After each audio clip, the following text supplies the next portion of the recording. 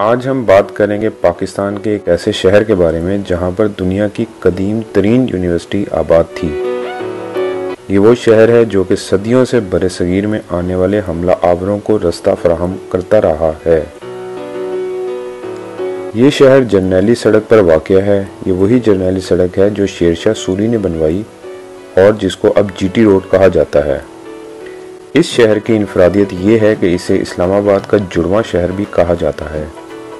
जी हाँ हम बात कर रहे हैं रावलपिंडी की, कि जिसके बारे में कहा जाता है पिंडी पिंडी एक। रावलपिंडी के बारे में दिलचस्प हकायक जानने से पहले प्लीज़ हमारे चैनल को सब्सक्राइब कर दें और इस वीडियो को लाइक भी कर दें।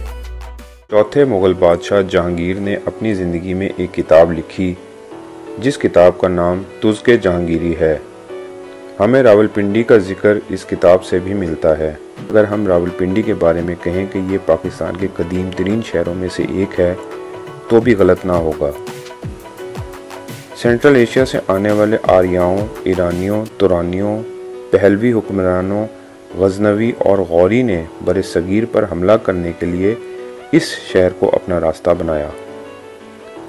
जब इस इलाके पर राजा पोरस की हुकूमत थी तो यूनानियों ने भी बर सग़ीर पर हमला करने के लिए इस शहर से रास्ता इस्तेमाल किया और इस वक्त टेक्सला को अपना दारकूमत बनाया। ये इलाका सदियों पुरानी यूनिवर्सिटियों और कॉलेजों की वजह से अहमियत का हामिल बना। क्या आप जानते हैं कि दुनिया की कदीम तरीन यूनिवर्सिटी कहाँ आबाद थी?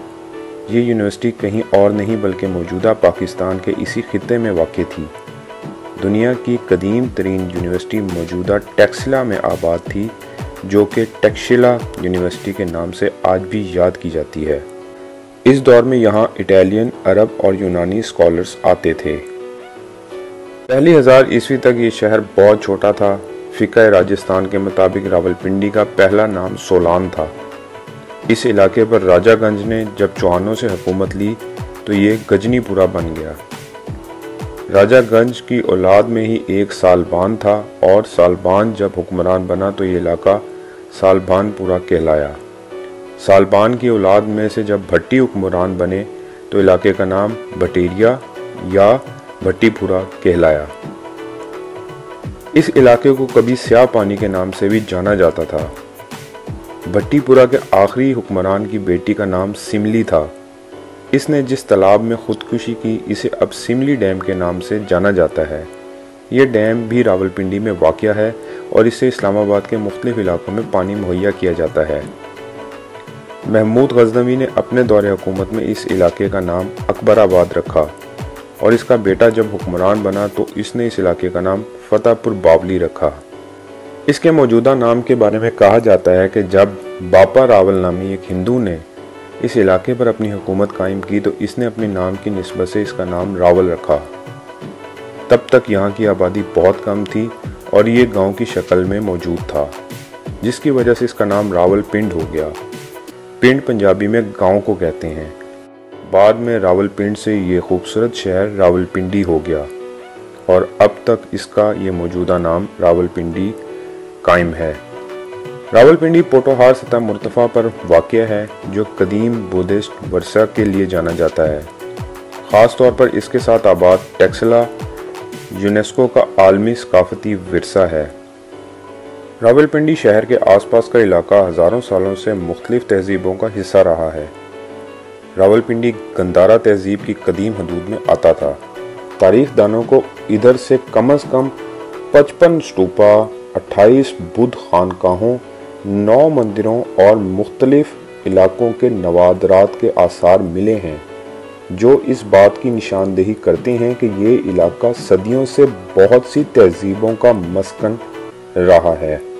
इस शहर के सीने में बहुत से अरूज जवाल की कहानियाँ दफन हैं। हमला आवरों ने बहुत दफ़ा रावलपिंडी को अपनी बरबरीत का निशाना बनाया। महमूद गजनवी ने रावलपिंडी पर हमला और फिर उसे तबाह कर दिया। चौदहवीं सदी में ये शहर एक दफ़ा फिर मंगोलों की बरबरीत का निशाना बना। और अपनी अजमत रफ्ता की शान खोने लगा। इस शहर के बार बार तबाह होने की वजह यह भी थी कि सेंट्रल एशिया से जो भी हमलावर आता, वो इस रास्ते को इस्तेमाल करता। फिर झंडा खान ने बर्बाद शहर को दोबारा कायम किया। बड़े सगीर पर जब मुगलों की हुकूमत कायम हुई, रावलपिंडी पर गखड़ों का ही राज था। 1559 में कमाल खान की मौत हो गई, जिसके बाद गखड़ सरदारों में इंतशार पैदा हो गया और उन्होंने हुकूमत हासिल करने के लिए एक दूसरे को गिराना शुरू कर दिया। इनकी लड़ाइयों को देखते हुए मुगलों ने रावलपिंडी इनसे ले लिया और इसको सैयद खान को दे दिया। शहनशाह जहांगीर ने कंधार पर हमला करने की मंसूबाबंदी भी रावलपिंडी के एक कैंप में ही 1622 में यानी 1622 में बनाई। जब बर सगीर पर मुगलों की हुकूमत कमज़ोर होना शुरू हो गई तो रावलपिंडी की अहमियत कम हो गई। 1760 की दिहाई में रावलपिंडी शहर को गुज्जर सिंह और इसके बेटे साहब सिंह ने मुकरब खान से छीन लिया। इस शहर की इंतज़ामिया सरदार मेल्हा सिंह के हवाले की गई। इसके बाद सिखों ने वही किया जो उन्होंने गुजरावाला में किया था। यानी उन्होंने दूसरे इलाकों से सिखों को दावत दी कि वो रावलपिंडी में आकर आबाद हो जाएँ। वो लोग जो दूसरे इलाकों से आकर रावलपिंडी आबाद हुए, इनमें एक बहुत बड़ी तादाद ताजरों की भी थी। जिसकी वजह से शहर ने एक दफ़ा फिर खुशहाल होना शुरू कर दिया। 19वीं सदी के शुरू में जब अफ़गानिस्तान के बादशाह शाह शुजा और उनके भाई को जिलावतन कर दिया गया तो उन्होंने रावलपिंडी में ही पना ली। जब पंजाब पर रंजीत सिंह की हुकूमत कायम हो गई तो 1810 में रंजीत सिंह ने रावलपिंडी पर भी कब्जा कर लिया। रंजीत सिंह ने मेल्हा सिंह के बेटे की रावलपिंडी के गवर्नर की हैसियत को कायम रखा। 29 मार्च 1849 को पंजाब पर सिखों की हुकूमत ख़त्म हो गई और रावलपिंडी भी अंग्रेज़ों के हवाले कर दिया गया। मार्काइस ऑफ़ डिलहोजी ने अठारह सौ इक्यावन, यानी 1851 शहर में मुस्तकिल फौजी छावनी बनाने का फैसला किया। इस शहर ने अपना पहला टेलीग्राफ ऑफ़िस 1850 के अवाइल में देखा। शहर का गैरिजन चर्च अठारह सौ चौवन में तामीर हुआ।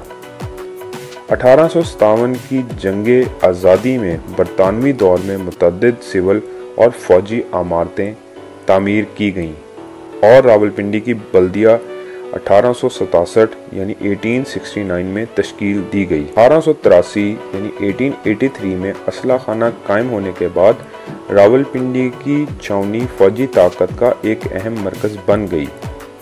बरतानिया की फ़ौज ने इस शहर को एक छोटे से कस्बे से सन 1921 यानी 1921 तक पंजाब के तीसरे सबसे बड़े शहर में तरक्की दे दी। शहर की अच्छी आबो हवा और करीब मरी में वाक़ हिल स्टेशन की वजह से इंग्लैंड से नए आने वाले फौजियों के लिए पहली पोस्टिंग का इंतखब किया जाता था। 1905 में अंग्रेज़ राज के खिलाफ फसादात फूट पड़े, जिसकी वजह से रावलपिंडी भी मुतासर हुआ। पहली जंग अजीम के दरमियान फौजियों की भर्ती करने वाले अजला में रावलपिंडी ज़िला पहले नंबर पर रहा और इसके बदले में बरतानवी हुकूमत की तरफ़ से ज़्यादा माली इमदाद हासिल की। रावलपिंडी पंजाब के इन सात शहरों में से एक था जहाँ आधी से ज़्यादा आबादी कंटोनमेंट डिस्ट्रिक्ट में रहती थी। 5 मार्च उन्नीस को रावलपिंडी की हिंदू और सिख बरदरियों ने पंजाब हुकूमत में मुस्लिम वजारत की तश्कील के ख़िलाफ़ एक जुलूस निकाला। पुलिस एहलकारों ने मुजाहरीन पर फायरिंग कर दी। इस हादसे से रावलपिंडी की ज़मीन पर बहुत खून खराबा हुआ। चूँकि आज़ादी के वक्त इस शहर में ज़्यादा आबादी मुसलमानों की थी तो ये पाकिस्तान के हिस्से में आया। यहाँ पर आबाद सिख और हिंदू हिंदुस्तान की तरफ़ हिजरत कर गए और हिंदुस्तान से मुसलमान महाजरीन ने इधर पनाह ली। पाकिस्तान बनने के बाद रावलपिंडी को फौजी हेडक्वार्टर के तौर पर मुंतखब किया गया। बाद में पाकिस्तान के पहले वज़ी अजम जनाब लियाकत अली ख़ान का कत्ल भी रावलपिंडी के मुकाम पर हुआ। 1960 में जब इस्लामाबाद को आबाद करने का मंसूबा बनाया गया, तब रावलपिंडी को ये एजाज़ हासिल हुआ कि वो पाकिस्तान का कायम मुकाम दारकूमत बना। इस दिहाई में रावलपिंडी में बहुत ज़्यादा तरक्याती मनसूबे शुरू हुए। उन्नीस सौ उनासी यानी 1979 पाकिस्तान के मजूल वज़ी अजम जुल्फ़ार अली भुट्टो को रावलपिंडी में ही फांसी हुई। और 2007 में इन्हीं की बेटी बेनज़ीर भुट्टो को भी रावलपिंडी में ही कत्ल किया गया। अगर रावलपिंडी की तारीखी मकाम की बात की जाए तो इनमें पर आना किला बहुत मशहूर है। एक और तारीखी जगह मोरगा है। ये एक नेशनल पार्क है। इधर से मुख्तलिफ़ आसार कदीमा मिले हैं। मसलन कदीम तरीन पत्थर और पुराने वक्त के औज़ार। इधर से गंदारा एज के आसार भी मिले हैं। जहांगीर ने अपने दौर में इधर मस्जिद बनवाई और एक बावली तामीर करवाई। बावली इस जगह को कहते हैं जहाँ पुराने वक्तों में लोग नीचे उतरकर पानी हासिल करते थे। पाकिस्तान में जेहलम में किला रोहतास के मुकाम पर एक बावली आज भी मौजूद है। किला रांगली भी रावलपिंडी के तारीखी मुकाम में से एक है। यहाँ पर गखर सरदारों की राजधानी थी। इधर हमायूं बादशाह ने भी क्याम किया था। इसके अलावा रावलपिंडी की तारीखी मुकाम में किला रवात भी काबिल ज़िक्र है। रावलपिंडी की लाल हवेली इन तारीखी मुकाम में से एक है, जो आज तक बिल्कुल अपनी असल सूरत में मौजूद है। यूँ तो रावलपिंडी के खाने पूरे पाकिस्तान में मशहूर हैं, लेकिन यहाँ की मखनी, मटन कढ़ाई मछली और गराटू जलेबी का कोई जवाब नहीं।